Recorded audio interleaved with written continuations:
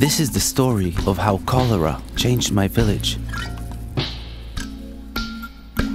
Tiny germs of cholera, too small to see, spread through the river. So small, yet so dangerous. Without realizing, women carried cholera home in the water. Flies carried cholera on their feet. Unwashed hands spread it too.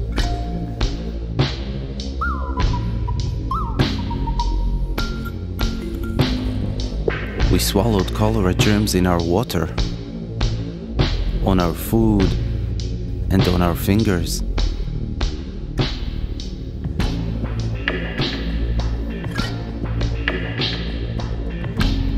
It happened so fast.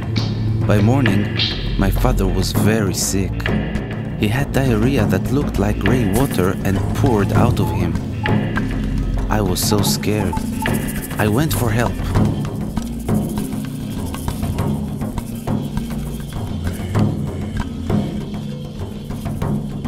I never rode so fast.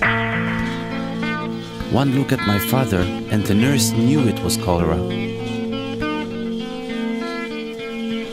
We had to work fast to save him. We made a special drink to help him. First, we made the water safe.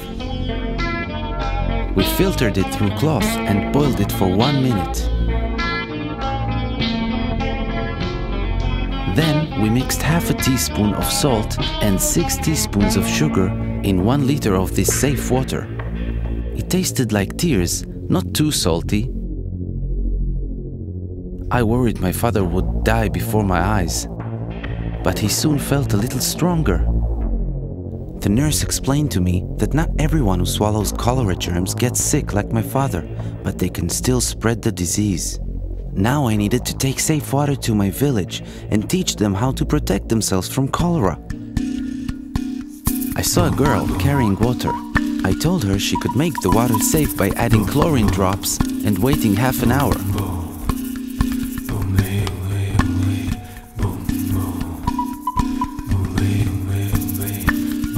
There was a man about to eat with unclean hands. I told him to always wash his hands with soap and safe water after going to the toilet. Only with clean hands could he eat safely. I saw villagers spreading cholera into our river. I told them we needed to dig latrines far from the river, at least 30 meters away. This was important to keep our village clean. Found a mother preparing unsafe food. I told her, first, we must wash our hands with safe water. Then, we had to wash and peel the food, cook it and always eat it hot, and protect it from flies. I spread the word throughout my village and ran to find my father. I was so happy to see he was better. Our village became healthy. Now we filter and boil our water to make sure it is safe. We always use latrines and always wash our hands after. Food is safe from flies, washed and peeled and cooked. And we always wash our hands before cooking and eating. We made our village safe from cholera. Spread the word. Your village can be safe too.